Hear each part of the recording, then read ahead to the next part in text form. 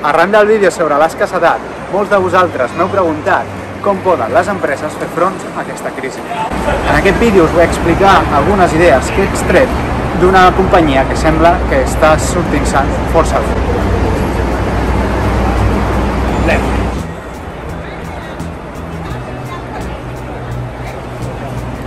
Soc Miquel Vila i en parlem avui a com funciona el món.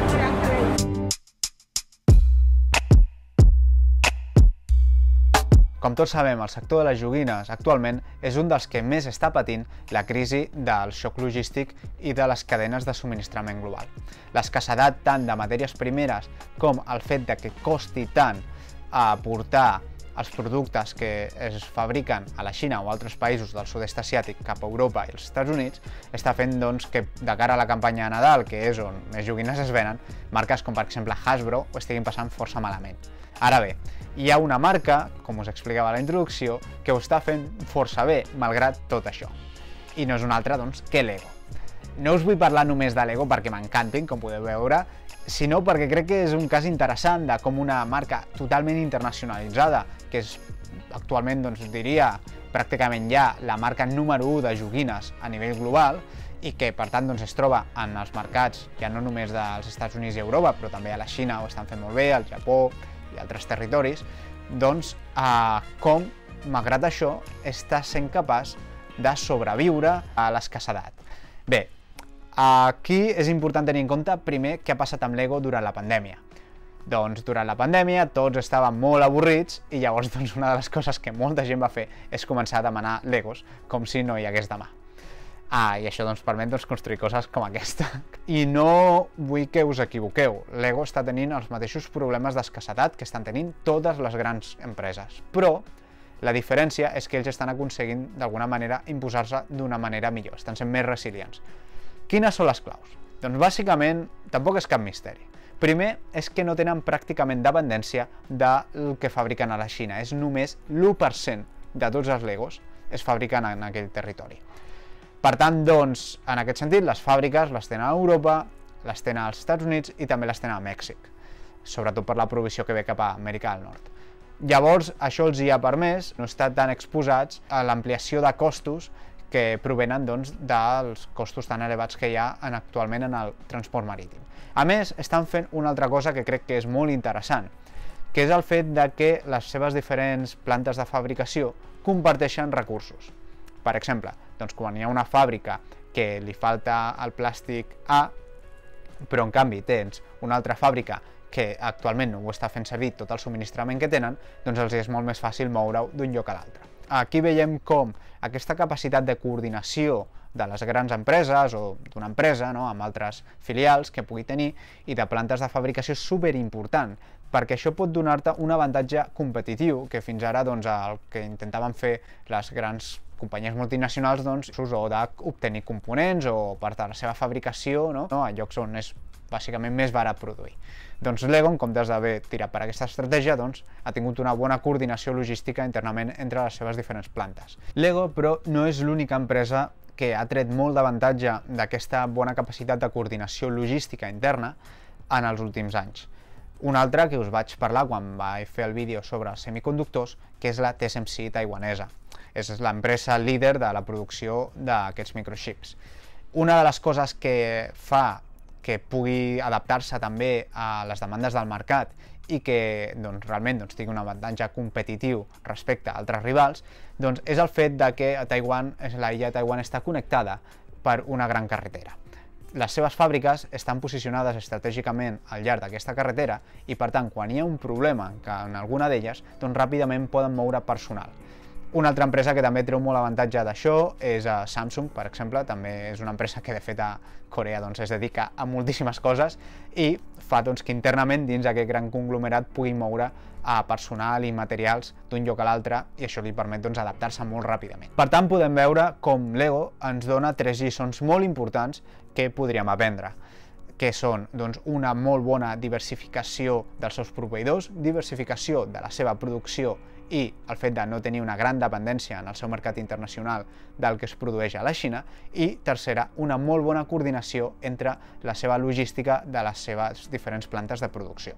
En aquest sentit, també vull dir que Lego a la Xina està venent moltíssim, però ho fa amb les fàbriques que té allà. Per tant, doncs, això fa que quan hi hagi un problema a la Xina o hi ha problemes a Europa o als Estats Units, eh, les seves cadenes de, de valor doncs, no estan del tot connectades i això li permet doncs, que la producció pugui continuar més o menys bé amb la, malgrat les restriccions en altres punts del planeta.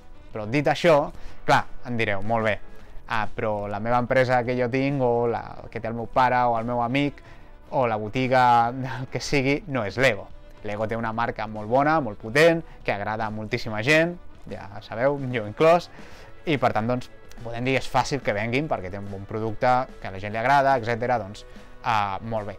Però com aterrem això en un marc que pugui ser útil doncs, per un país que té com, com Catalunya, no? que la seva economia és sobretot petites i mitjanes empreses. La primera és la diversificació dels proveïdors. Què ens està ensenyant aquesta pandèmia? Que no podem posar tots els nostres ous a la mateixa cistella. El que hauríem de fer, doncs, per tant, a la mesura del que sigui possible, no ser totalment dependents de la provisió de materials, components o productes que venen d'un país en concret. És cert que des d'un punt de vista purament econòmic, de vegades això és el que té més sentit. Aviam, tampoc ara no ens posem, passem de llestos pensant que tothom és tonto per eh, estar comprant productes totalment que venen de la Xina tot el dia o components que venen d'allà. Això es fa perquè surt bé de preu i perquè és un bon negoci. Ja està. Ara bé, potser haver tingut només el preu en consideració doncs és un problema en el moment doncs, que comencem a veure que hi ha una sèrie de problemes al món no? I, de, i de conflictes que fa que no sigui gaire segur fer això d'aquesta manera. Òbviament hi ha la pandèmia que pot ser una situació molt concreta, però és que el futur és aquest. Per tant, doncs, eh, no és una mala idea tenir una diversificació d'aquests proveïdors, que no depenguin tots del mateix país, i sobretot, d'alguna manera, mirar d'estructurar-ho que no depenguin també de països que, són, que estan molt allunyats. Llavors, lligat amb això, la segona idea, recuperar la producció. El mateix, en comptes de tu ser una empresa que tens tota la teva producció molt lluny de casa nostra, doncs potser és una bona idea mirar, en la mesura possible, els països i les empreses doncs, recuperin parts de la seva producció i la facin doncs, al seu territori, en aquest cas doncs, en territori català, poder ser. Ah, òbviament tampoc és fàcil, perquè com explicava primer, hi ha una racionalitat econòmica perquè això no sigui així. Però també comencem a veure com els costos del transport marítim ah, són cada vegada més elevats i per tant doncs, té fins a cert punt de sentit també econòmic tenir doncs, una part de la producció més robusta recuperar-la. Això podria ajudar a que la logística fos més resilient. Segurament per petites o mitjanes empreses el fet de contractar proveïdors que estiguin més a prop d'ells eh, o fins i tot doncs, internalitzar part d'aquesta producció, si poden fer-ho. Òbviament té uns costos que no tothom pot assumir, però a la llarga segurament els permetrà estar millor adaptats davant d'aquesta globalització conflictiva. I la tercera lliçó doncs, és millorar aquesta logística. Tenir capacitat, per exemple, a través d'aplicacions, de monitoritzar molt bé on estan els diferents components, a on estan els materials que es necessiten, els productes que s'estan demanant en tot moment, doncs això pot ser una cosa que pugui ajudar. Òbviament, per les empreses que són més grans, perquè aquí el, el gran avantatge competitiu en termes logístics ho tenen les grans empreses, perquè poden internalitzar més coses, eh, poden jugar més amb això. Al final, si ets una petita empresa que depens de diferents proveïdors, bé, doncs aquí entraríem en una segona idea que plantejaré una mica més endavant però per ara doncs, també ho tens més fotut. Però el que sí que pots fer doncs, és tenir millor control d'aquests proveïdors, eh, pots fer doncs, mirar de pensar els estocs més a llarg termini, tenim previsió de que aquestes coses poden passar. També un dels problemes que hi ha hagut eh, és que el model econòmic de moltes empreses ha, ha estat eh, molt pensat d'alguna manera molt a curt termini, els estocs eh, sempre doncs, es, anaven una mica doncs, buits, eh, perquè és doncs, el que et dona més benefici, perquè és també és el que et facilita més, no? Si tu saps que demanes un producte que en un mes pots tenir a, a casa teva doncs, o que pots tenir a, a la teva empresa, doncs no et preocupes tant de mirar de tenir doncs, més provisió d'estoc. En canvi, doncs, quan la llargària d'aquestes esperes i els costos d'aquesta provisió doncs, s'ha doncs, anat fent més gran, doncs això porta més problemes. I com vull repetir, no em vull passar de llest en aquest vídeo de dir, hosti, uh, jo, és, al final les empreses uh, han fet, han funcionat com els havien dit que havien de funcionar. Simplement la idea és que hi ha un context nou i de quina manera es poden adaptar millor. Aquesta és la idea. i per tant doncs, això és, a, és el que hem d'entendre, no? tenir una millor logística, millor control d'on estan els diferents eh, productes i, òbviament, doncs, poder pensar una mica més a llarg termini. Altres idees que he trobat, més enllà de les lliçons que puguin provenir de l'ego, per exemple, a Itàlia, quan va haver-hi aquesta necessitat de tenir ventiladors als hospitals, els hi faltava algunes fàbriques components per poder fer-los. Llavors el que van fer és utilitzar impressores 3D per imprimir aquests components no? i posar-los per poder desenvolupar els ventiladors i enviar-los als hospitals. Això té un risc, que és que aquesta empresa va ser denunciada per la propietària de la patent d'aquell component i ara mateix està en un judici. Però crec que no és una mala idea en alguns sectors, segurament en el futur, a mesura que això doncs, sigui més fàcil de, de fer, no? les impressores 3D siguin més eficients, etc., doncs segurament moltes empreses podran confiar en aquestes impressores, si no per la seva activitat normal, com a mínim, doncs, potser en moments de crisi. D'altres que poden haver-hi, doncs, per exemple, l'utilització del tren. Quan vaig fer el vídeo sobre la nova ruta de la seda us vaig parlar d'aquesta línia que va d'Ibú fins a Madrid. Degut a que el transport marítim actualment doncs, ha pujat molt de preu, el que estem veient és que el transport per ferrocarrils s'està disparant també. I això crec que és una cosa també interessant a tenir en compte. Canviar dels mitjans de transport que es fan servir per obtenir aquestes provisions. I per últim, també m'agradaria parlar què podrien fer els governs amb tot això. Jo crec que on, més, on la idea doncs, que se'n va encendre més la bombeta és en aquesta idea de que les diferents empreses d'alguna manera comparteixin doncs, els materials eh, per poder doncs, aguantar fins que rebin els nous.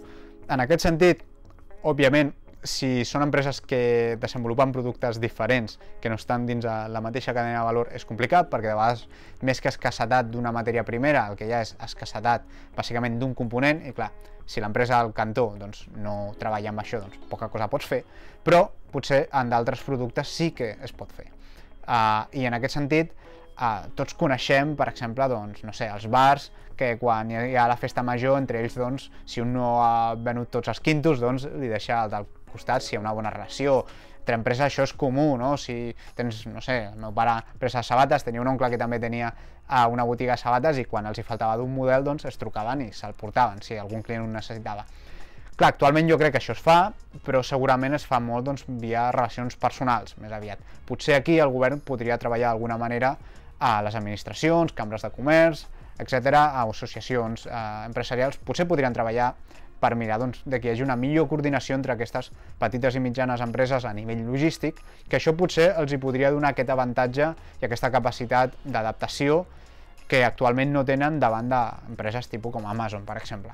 Doncs això podria ser un element a explorar. Després, òbviament, el que sí que els governs que hauran de fer doncs, més a llarg termini doncs, és mirar de donar incentius perquè d'alguna manera doncs, la producció cada vegada doncs, es faci més en aquella que sigui possible. No crec que tot sigui necessari, però potser en alguns sectors més estratègics doncs, sí que desenvolupar-los més de nou a casa nostra. També això és una cosa que hem de tenir molt en compte que hagin tingut una hiperglobalització, com diuen Dani Rodrik, durant 20-30 anys, no vol dir que aquesta sigui l'única manera de, no ja de fer funcionar l'economia, sinó que sigui l'única manera de fer diners. Vull dir, diners s'han fet tota la vida, vull dir, per tant, doncs, al final, de vegades ens agafem a les receptes econòmiques i estratègies empresarials i productives d'un context molt concret, com si aquestes doncs, fossin eternes, i si el context està canviant, doncs potser el que cal fer és adaptar-s'hi.